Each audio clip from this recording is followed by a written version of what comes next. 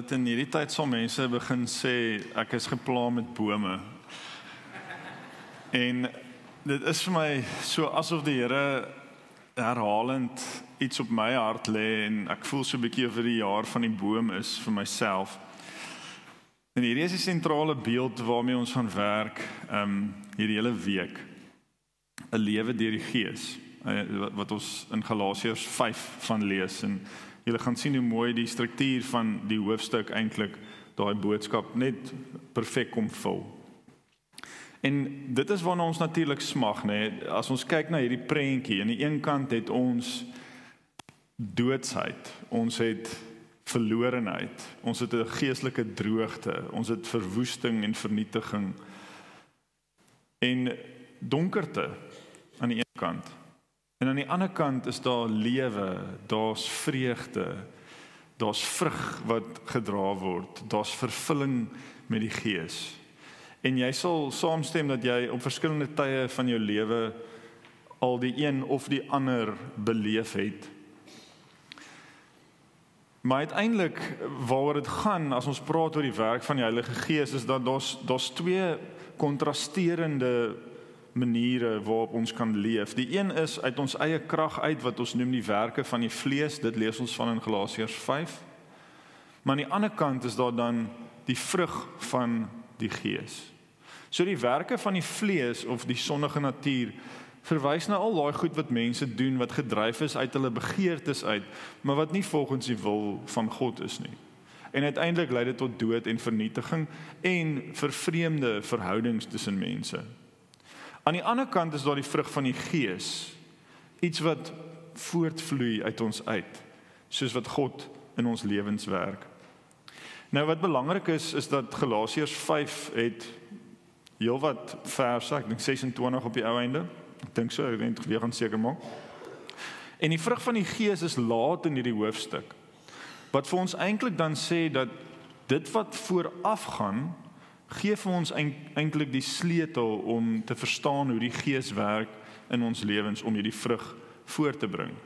Want soos wat ek groot geword het in die kerk, ek het eerstens gehoor dat ek het eintlik altyd gedink dis die vrugte van die Gees.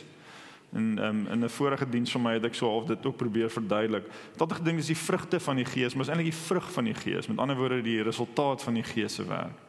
En ek het altyd gedink die stryd van die lewe is om die werke van die vlees nie te doen nie en dan die lysie van die vrugte van die gees wel te doen. So dan nou in plaas van om jaloers te wees of iemand te vloek, moet ek probeer om vriendelik te wees en liefdevol te wees. En dan is jou lewe hierdie hierdie stryd tussen ek moet daai nie doen nie, maar hierdie moet ek doen. Ek moet probeer om op te hou hiermee en daai moet ek begin doen. En dis hierdie stryd dan van wilskrag En uiteindelik is dit alles nou maar in jou hande en jou poging om dit te probeer regkry. Maar wat weet ons van 'n boom? 'n Boom die belangrikste deel in 'n sekere sin is dit wat ons nie kan sien nie en dit is wat onder die grond gebeur, die wortelstelsel. En ek dink die rede hoekom ons sukkel om weg te breek van hierdie werke van die vlees en te groei in die vrug van die gees is omdat ons nie eintlik besef dat ons moet onder die grond by die fondasie begin nie. Want uiteindelik is die eerste vlak van God se werk dit wat Christus reeds vir ons gedoen het. Jy sien as jy verkeerd wegspring, dan gaan jy uiteindelik verskriklik ver die die doel mis. Ek het nou onlangs gelees um van 'n maratonatleet 'n paar jaar terug wat dis 'n vrou wat 'n maraton gehardloop het en sy was heeltyd voor en sy het agter die daai safety car gehardloop. Ek weet nie of julle dit gesien het nie. Sy het agter die safety car gehardloop heeltyd. Heeltyd, heeltyd. En dit is letterlik 'n paar honderd meter van die einde. Toe draai die safety car af. Toe vat daai kar 'n verkeerde afdraai. Ek meen dit is soos die wenstreep is daar aan die ander kant. En toe gaan sy agter die kar aan. En sy kom toe vierde op die einde want toe besef sy sy's op die verkeerde roete en sy gaan weer terug. En jy dink hoe sleg moes dit gewees het om in daai oomblik net die verkeerde draai te vat. En dis wat met ons gebeur as ons by Christus nie by Christus begin nie en ons wil by die Gees uitkom, dan vat ons 'n verkeerde draai en ons mis dan uiteindelik eintlik die Gees se werk in ons lewens. En dis die twee kontrasterende dinge wat teen mekaar afspeel. Aan die een kant is daar 'n slawerny waarin die mensdom homself bevind. En waarvan is ons slawe? Ons is slawe van sonde en dan godsdienstige reëls. Die Nuwe Testament praat van die wet. Ek sal nou 'n bietjie verduidelik wat word bedoel met wet. So die wêreld is vasgevang in hierdie mag. En al wat jou dan kan help uit 'n wêreldse stelsel is om op 'n manier wilskrag te gebruik om jouself te verlos daarvan. Maar aan die ander kant het ons as Christene vryheid in Christus ontvang. En in 'n sekere sin is hierdie vryheid soos in die kern van die betekenis van die evangelie. Vryheid is rondom is waar rondom alles eintlik draai. Ek en jy is vry. Ons is vrygekoop. Ons kan vry leef. Klink soos 'n vreemde konsep vir mense. En die vraag is wanneer hoe weet jy jy is vry? Wel, ek dink 'n mens kan begin deur te sê hoe lyk dit as jy nie vry is nie? Want jy kan 'n Christen wees en vrygekoop wees deur Christus, maar nie leef asof jy vry is nie. Amper soos iemand wat binne in 'n tronksel sit, die deur is oopgemaak, maar hulle stap nie uit nie. In beginsel is daai vryheid daar vir jou, maar jy vat dit nie, jy loop nie deur nie. So hoe lyk dit as ons as ons nie vry is nie? En ek wil jou jou uitdaag om so 'n bietjie saam met my te dink as ek 'n paar voorbeelde noem van jou eie lewe, hoe jy dit ervaar. So is jy 'n prestasielys tipe Christen? Is jy besig om te dink aan veel voortdurend besig om so half 'n stoktaking te doen van positief en negatief in jou lewe? Ek doen genoeg hiervan, hiervan en hiervan. Ek doen te min hiervan, hiervan en hiervan en ek moet probeer om uit te kom by die belangrike goed. So jy het 'n tiklist tipe van Christendom. Bevind jy jouself met tye minderwaardig voel teenoor ander? As jy kyk na die voorbeelde van mense wat volgens jou regtig in die geloof leef, vind jy jouself half vergelyk met hulle en dan vind jy jouself eintlik minderwaardig. Beleef jy dikwels dat jy gedryf word deur skuldgevoelens en 'n sin van verpligting as gelowige? Dat jy foute wil regstel nie uit dankbaarheid en uit verlossing nie, maar omdat jy skuldig voel, omdat jy verplig voel om iets te doen. Leef jy met daai kroniese skuldgevoel konstant wat jy nie kan ophou dink aan al die foute wat jy maak en die goed wat jy verkeerd doen nie. Is daar 'n sin van skaamte by jou? Die belewenis dat jy net nie goed genoeg is nie. En ek seker elkeen van ons kan van hierdie goed ja sê.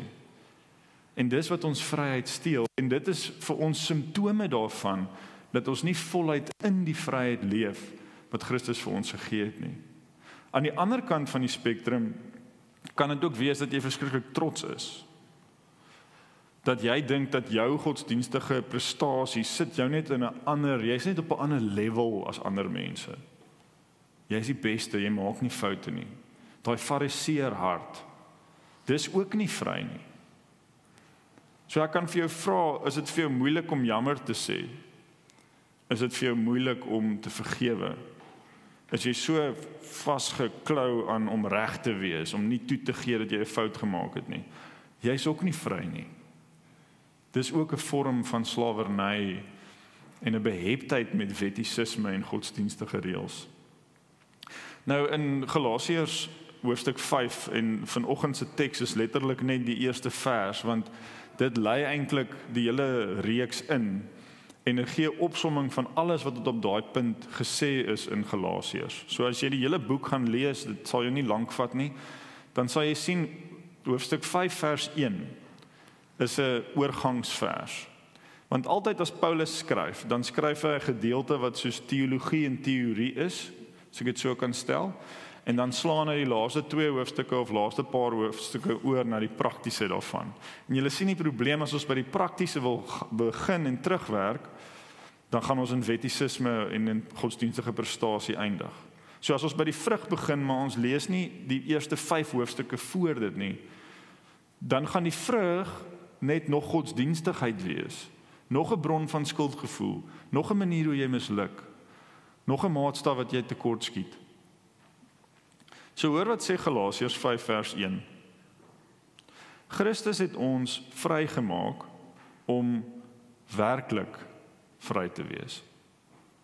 Staan dan vas in hierdie vryheid en moet julle nie weer onder 'n slawe juk laat indwing nie. So die eerste ding wat ek wil sê is hy skryf vir Christene. Hy skryf vir Christene. Dit beteken dat ons nie kan aanvaar dat die feit dat iemand hier is vandag en dalk bely dat Jesus hulle verlosser is. Ons kan nie aanvaar dat dit beteken dat daai persoon nie in 'n vorm van slawerny leef nie. Vasgevang en verstrengel. Dit sê ook vir ons dat dit 'n konstante stryd is. Want hier staan en ek meen dis 'n herhaling van woorde, so dis 'n intense vorm want hy sê maar dit klink eintlik simpel. Christus het ons vrygemaak vir vryheid. Hy het ons nie vrygemaak vir iets anders as om vry te wees nie. Dit is wat hy gedoen het. En nou is die aanmoediging daarom te sê maar dis wat Jesus vir jou gedoen het, maar nou moet jy vas staan. Jy weet die woord daar is nie net staan nie, dit sê jy moet jy moet jou voete gaan plant binne in dit. En nie weer ingedwing word onder 'n slawe juk van wette en reëls en godsdienstigheid nie. Maar jy sien hoe dit ons dit wil ons trek in daai rigting. So hoofstuk 1 tot 4 gaan oor hierdie dis hierdie Joodse Christene wat die gemeente binne gedring het.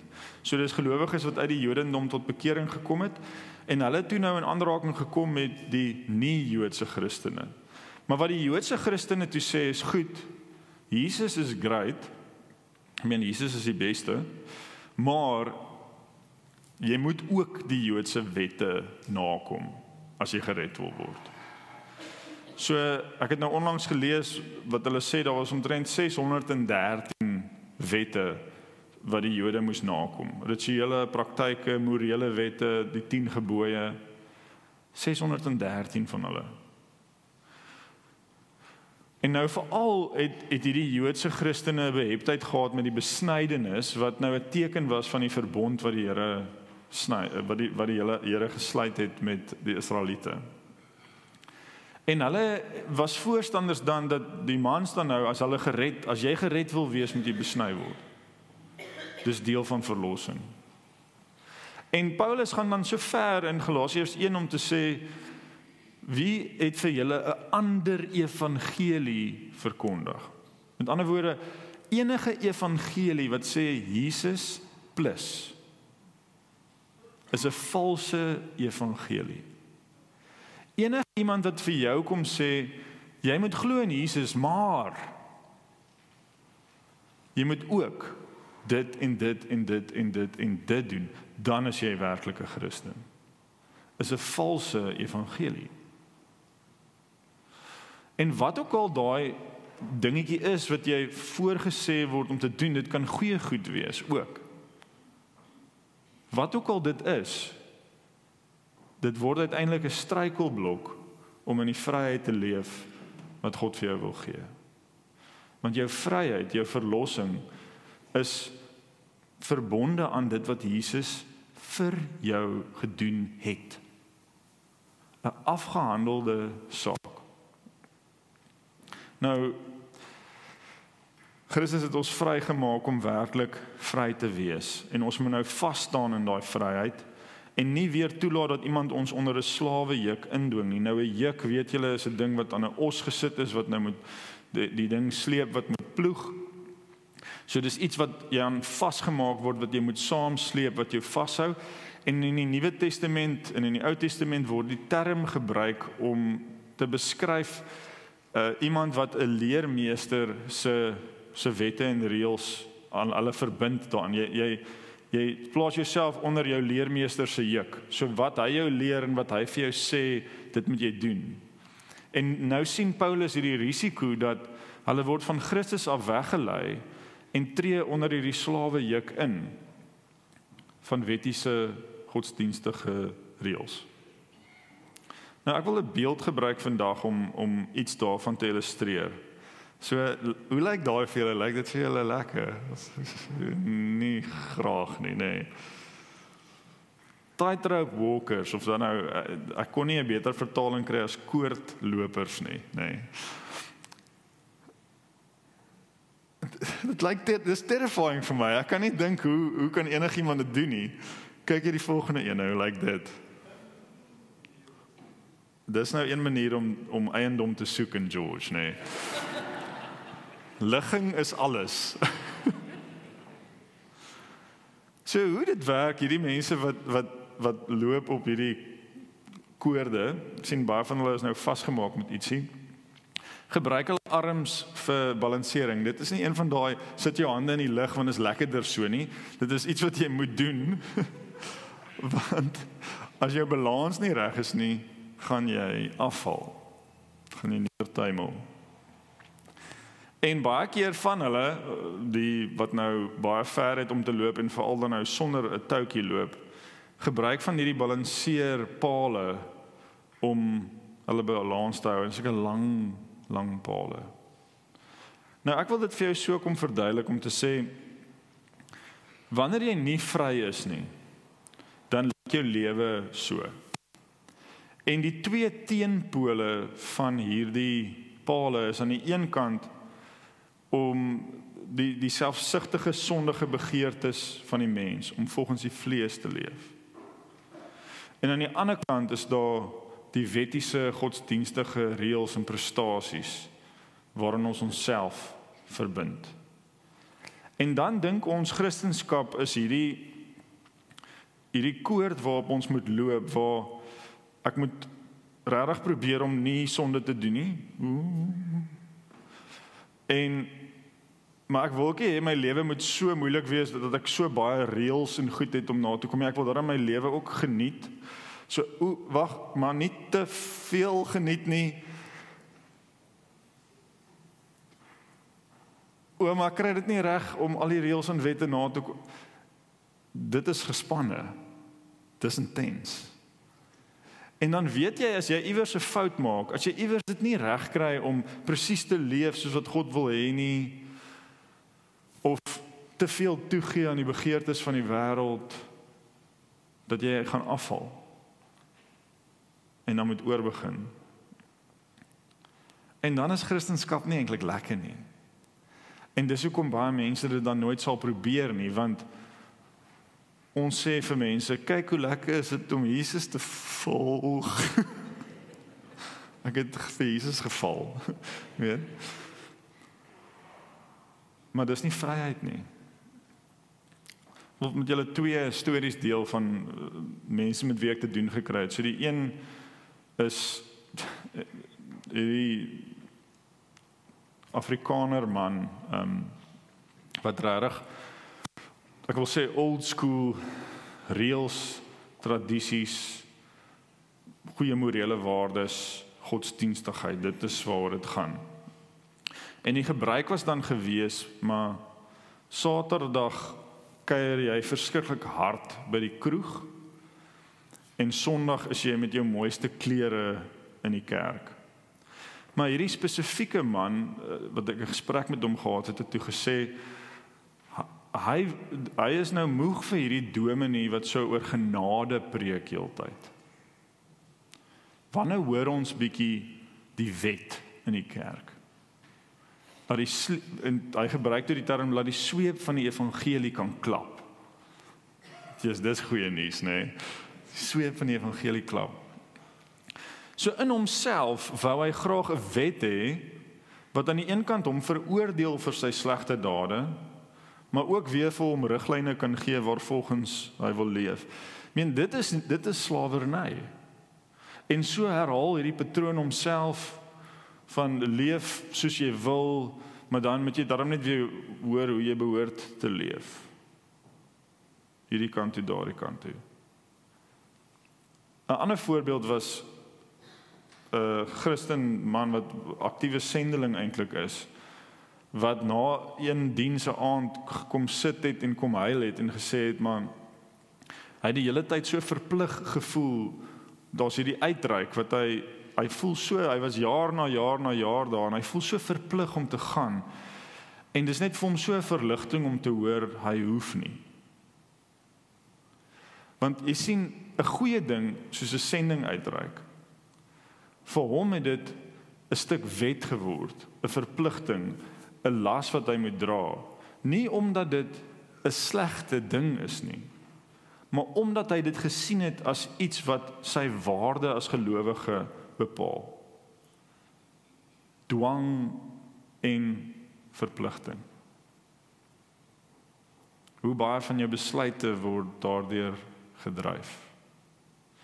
Maar kom ek wys vir jou wat ek dink geloof in Christus eintlik hoe dit eintlik lyk om om verlossing te ontvang om in 'n verhouding met die Vader te leef is nie dat jy gaan en op hierdie koord loop en die balans van die lewe probeer hou nie. Dit wat Jesus gedoen het om ons te help om oor hierdie kloof te kom is eintlik meer soos 'n hulle noem dit 'n ophaalbrug of 'n 'n trekbrug.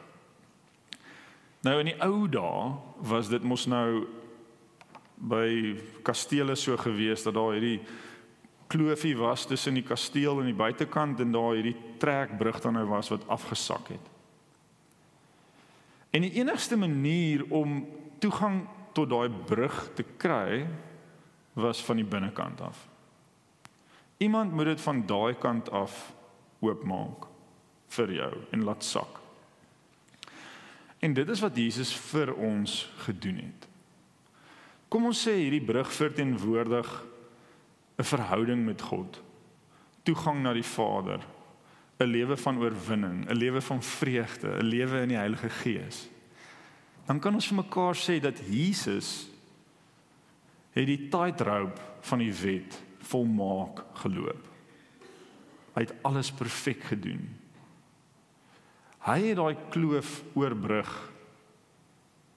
en uiteindelik deur sy lewe te gee versoening met die Vader vir ons bewerk. En nou dink mense, okay, Jesus het dit nou gedoen. Hy kon nou hier oorstap met sy volmaakte lewe. So nou moet ek dit ook doen. Nee. En dis die punt. Toe Jesus aan die ander kant kom, het hy die brug van daai kant af laat sak. En 'n pad vir ons gemaak deur sy lewe en dood om versoen te word met die Vader sodat ons nie weer oor hierdie toutjie hoef te loop van slawerny nie.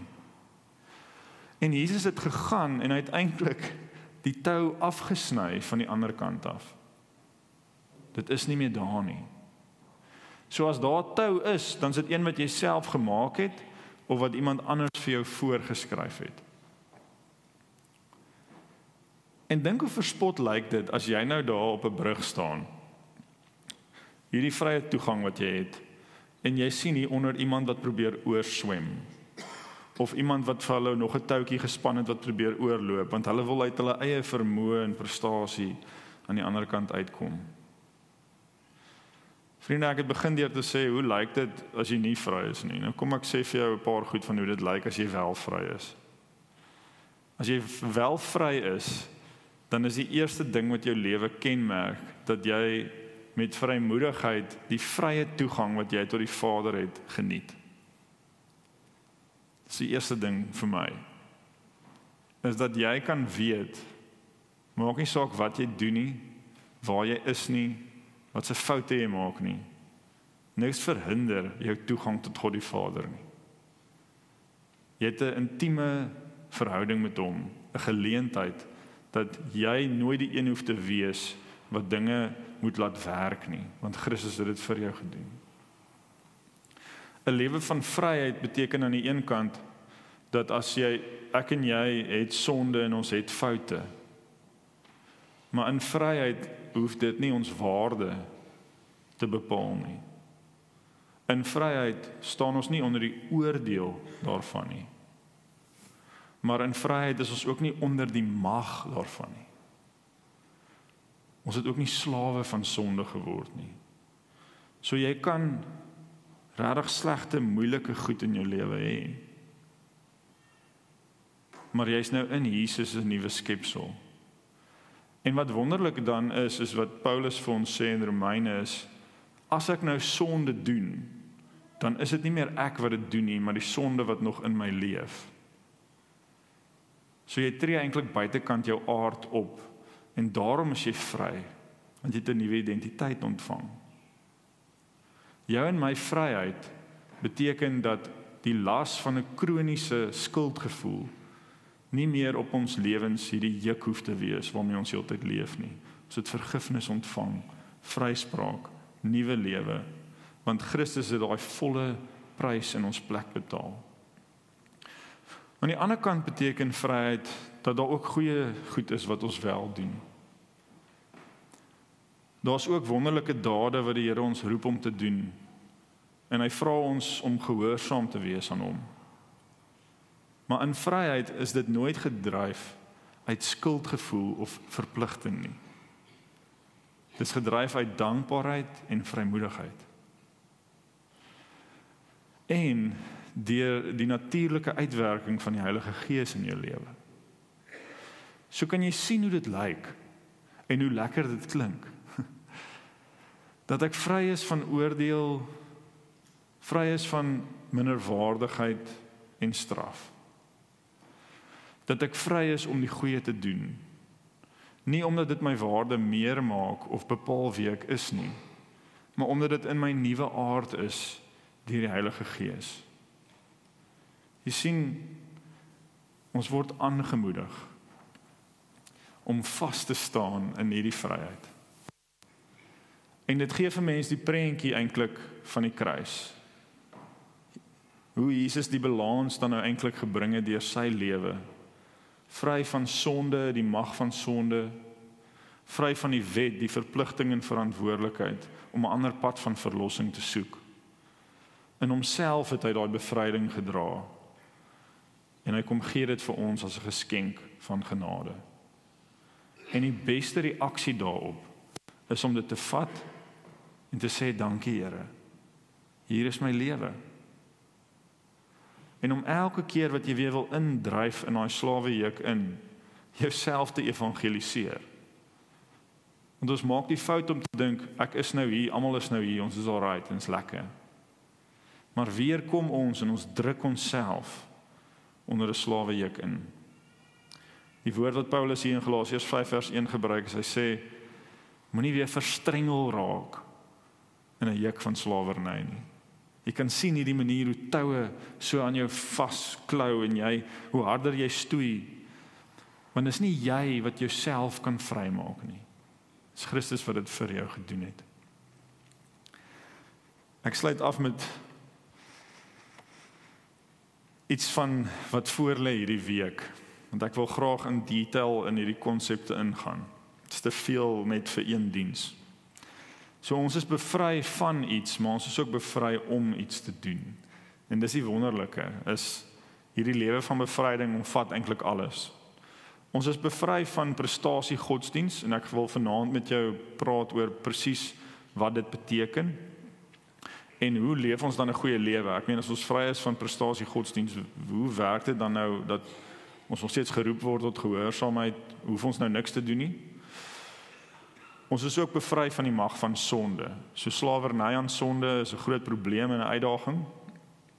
Hoe kan ons leef? Ons is nog sondaars, ons doen nog sonde, maar hoe leef ons dan asof as ons as nie slawe van sonde nie? Maar nou eindig dit nie daar nie. Ons is nou ook bevry om vrug te dra, so ons kan 'n lewe leef deur die Gees wat anders lyk. En dan is ons ook bevry om te dien in liefde. Dis enigste verpligting word eintlik maar liefde en ons ontvang 'n nuwe juk. En Jesus sê kom na my toe almal wat uitgeput en oorlaai is ek sal julle rus gee. Neem my juk op julle en leer van my want ek is sagmoedig en nederig van hart en julle sal rus kry vir julle gemoed. My juk is sag en my las is lig. Die juk, soos ek vroeër gesê het, is die woord wat gebruik is om die leringe, wette, reëls van 'n bepaalde leermeester aan te neem en dit jou eie te maak. Word jou leefwyse jou denkskool. Jesus kom en hy ontwrig hulle hele stelsel en hy sê eintlik maar volg my. Ek het 'n sagte juk. Ek gaan nie dit op jou lê wat jou 'n slaaf gaan maak nie. Ek gaan dit op jou lê en dit vir jou gee wat jou gaan vrymaak. Sodat jy kan beleef dat die laste van jou lewe lig is. Want Christus het dit als reeds gedra. Amen. Here, dit is ons begeerte om vas te staan in hierdie vryheid omdat U ons geroep het tot vryheid. En is in dankbaarheid, Here, wat ons kom en met 'n honger wat ons kom en sê Here, maar kom leer ons hoe om so te leef. Kom leer ons en kom wys ons. Here, ek bid vir elkeen hier dat U iets in hulle sal wakker maak om te kan raak sien wat ja, waarop met hulle self fokus. Wat is die maniere waarop ons ons eie denke kan verander en vernuwe? Heilige Gees, kom en laat hierdie saad ontkiem wat u geplant het en laat dit groei in ons dat ons 'n lewe van vrug kan leef, Here. En help ons om met die fondasie van ons vryheid in u te begin sodat ons van daar af kan vrug dra, meer en meer en meer volgens u wil. Amen. So ek wil jou nooi, ehm um, nie omdat jy moet nie, maar miskien omdat jy wil Moet jy voel die Here roep jou hierheen en hy het iets om vir jou te sê. Nooi ek jou na die res van die Pinkster toe. Ons gaan vanaand en môreoggend praat oor wat dit is om bevry te wees van prestasie godsdiens en hoe subtiel ons eintlik binne in dit leef. Maandag aand, Dinsdagoggend bevry van die mag van sonde. Hoe kan ek regtig 'n lewe van oorwinning leef? Dinsdag aand, Woensdagoggend ons is bevry om vrug te dra en dan sluit ons af met die feit dat ons bevry is om te kan dien mense om ons in ons gemeenskap. En dan die goeie nuus is daar's kinderpinkster ook. Elke aand om 6uur tot Woensdag aand en dit beloof om vir die kinders ook iets baie spesiaals te wees. En ons ontvang die seën van die Here. Die wonderlike dinge wat die Here vir ons gee, nie omdat ons enigiets van dit verdien nie. En dit is die liefde van God ons Vader. Dis die genade van ons Here Jesus Christus en dis die hulp, die troos uh, en die krag van die Heilige Gees wat in ons is. Amen.